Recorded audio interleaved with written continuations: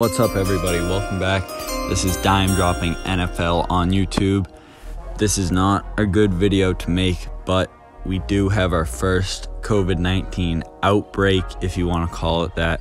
Three players and five personnel pieces of the Titans organization have tested positive for COVID 19. I'm surprised it isn't less, but they are going to have to test everyone on the team again and it could be suspect to an even larger outbreak of players and personnel on a bunch of different teams if a lot more than three players actually have it, which I feel like is likely due to the spread of coronavirus being so prevalent, especially in this time where everyone's sweating on each other, bleeding on each other, and tackling each other in football.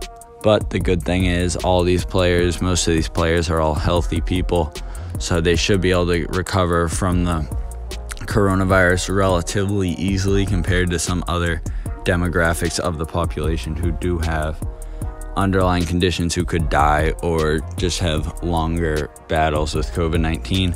Hopefully, the league, the NFL can get over this.